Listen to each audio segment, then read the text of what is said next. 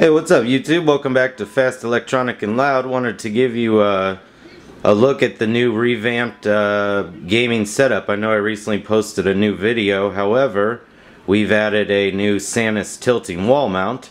So I wanted to just kind of give you a preview now of the new gaming and home theater setup, kind of the remix, and just some of the components, how I have them hooked up, and just some things like that.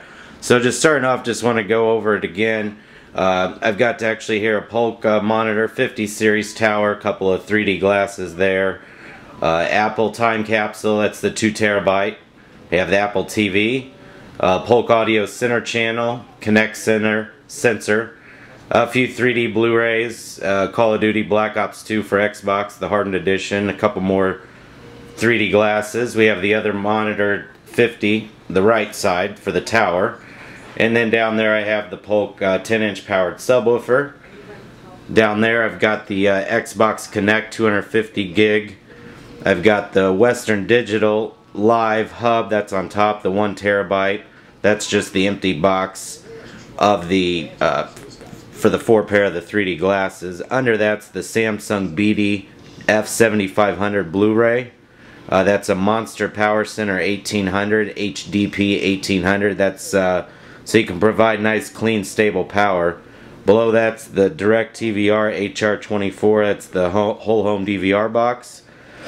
Next to that is the Yamaha HTR 5063 that's a 7.1 receiver HDMI switching 3D uh, the whole works. And that is another Monster HDP 1800 power center.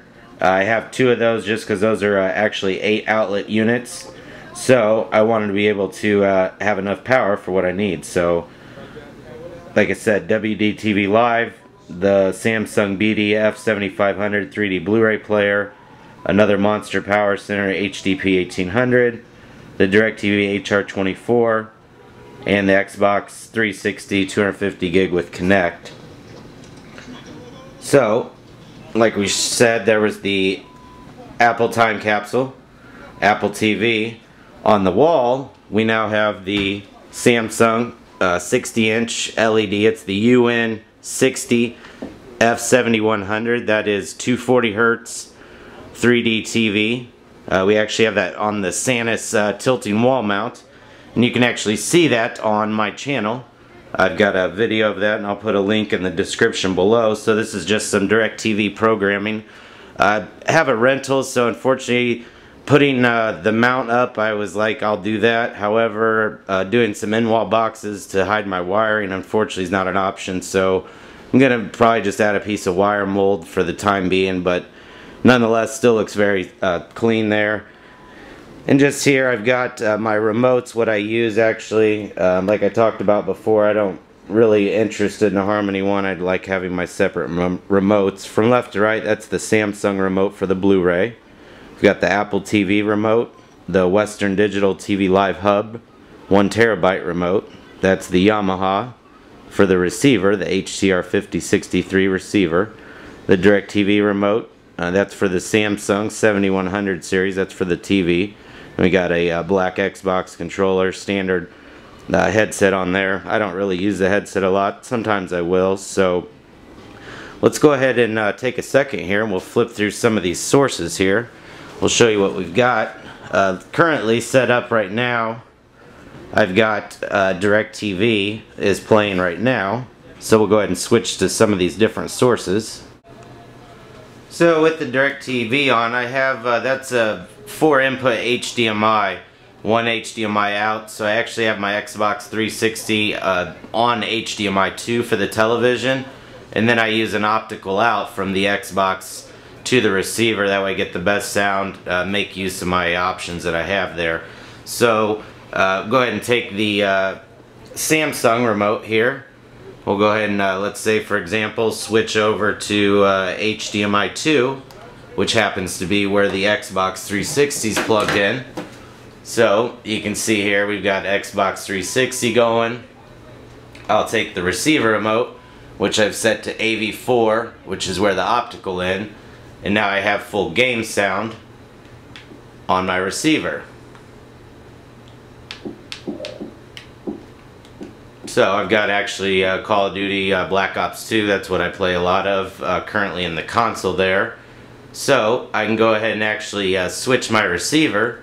Let's say back to, let's go back to, you know, television if we want. So bring our remote here and I can go over to HDMI 1. For the Yamaha, which is DirecTV, the same difference.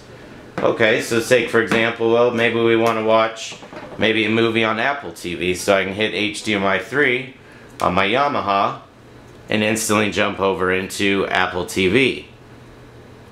And here's movies, and you know, and you guys have seen the interface for Apple TV. So maybe there's a movie I've stored on my Western Digital TV Live Hub and I'd like to visit that. So I can actually just jump over on the Yamaha again to HDMI 4 and now I can actually be at the Western Digital TV Live one terabyte hub you know where I have some movies there stored locally as well as to share drives. So maybe it's uh, it's decided we're gonna do Blu-ray. So we can hit HDMI 1 on the receiver. Now we can jump right in over to a Blu-ray. We can go ahead and grab our 3D glasses take a pick at what movie we're gonna do and then we can sit back and enjoy our 3D film if that's what we're going to watch or standard Blu-ray whichever you so desire.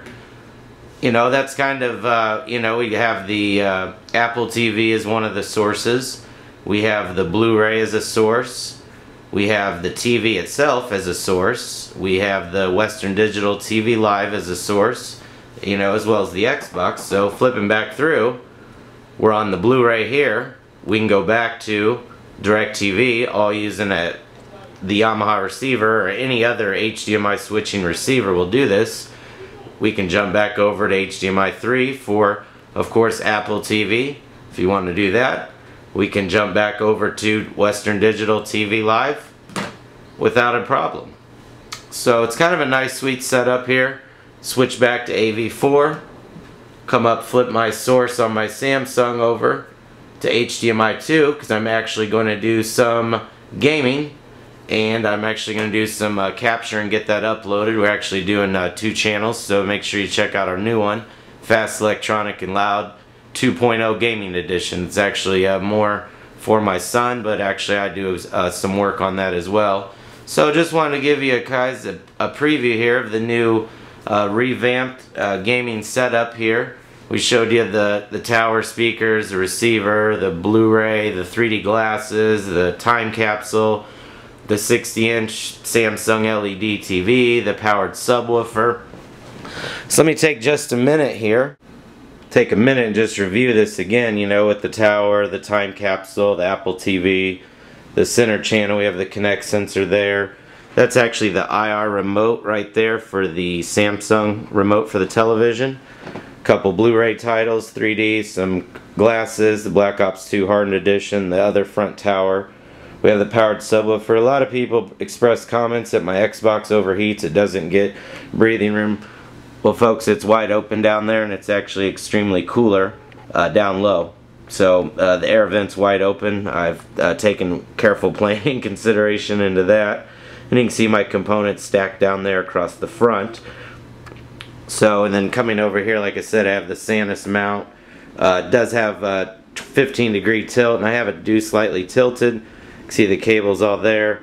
Have everything detailed coming off the back and put together there. So, kind of a nice touch. Like I said, this is a rental, so I have to deal with these cables coming across. However, this is where my rear fill is. I have the rear and back as well as on the other side have the rear and the back.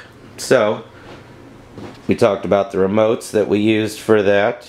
We have the Samsung remote, the DirecTV remote, Yamaha, Western Digital Live, Apple TV, and the Blu-ray. A lot of people said, whoa, you should combine those to a Harmony. I don't like the Harmony. I, all you, the options within the Harmony, you still have to access page by page to get to it. Sometimes it's just easier to grab the remote. Sometimes I have these out, sometimes I have them in the drawer right below it. So Hope you guys have enjoyed uh, Fast Electronic and Loud's uh, new revised revamped gaming setup with the 60 inch LED that you saw before in the first video except now we have it wall mounted. Uh, definitely did a lot for the room Uh, it actually added space because now we don't have the stand up here. We can bring the center channel up, uh, have a few items up there, and it just makes the room uh, just a little bit larger. So, you know, sitting back here in the gaming section, basically on the couch here, uh, this is kind of just the view I have uh, kicking off to play. So I'm kind of pretty excited about it. Uh, appreciate everyone's support. We recently went over about 315 subscribers. We currently have a 250 subscriber giveaway out there, so make sure you check that out on our channel. So, as always, it's brought to you by Fast Electronic and Loud, where we always bring it to you fast, electronic, and of course, loud. Thanks for watching. Please subscribe.